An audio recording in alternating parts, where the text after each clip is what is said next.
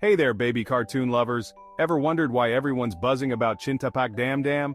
Well, it's the latest internet craze, and I'm here to spill the beans. So, what's Chin Tapak Dam Dam anyway?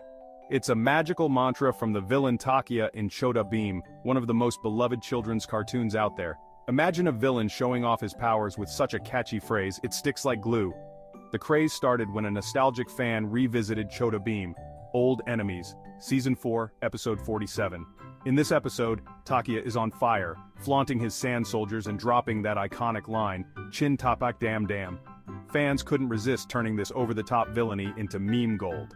Now, social media is exploding with Chin Tapak Dam Dam memes, Instagram reels, and YouTube videos.